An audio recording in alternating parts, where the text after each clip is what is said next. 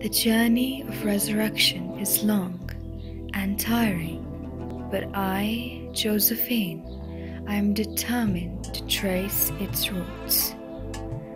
I'm treading the high altitudes of Ladakh.